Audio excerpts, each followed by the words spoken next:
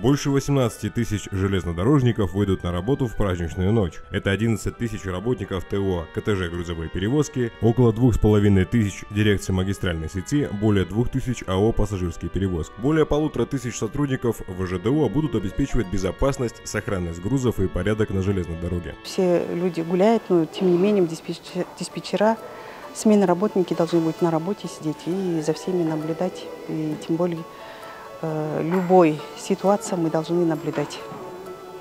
И поэтому э, также работа идет, как обычные, э, обычные дни, как работа так и идет.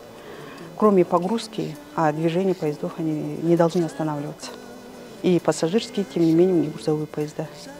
Тем более мы сдаем э, внешность стыки, в основном мы отвечаем.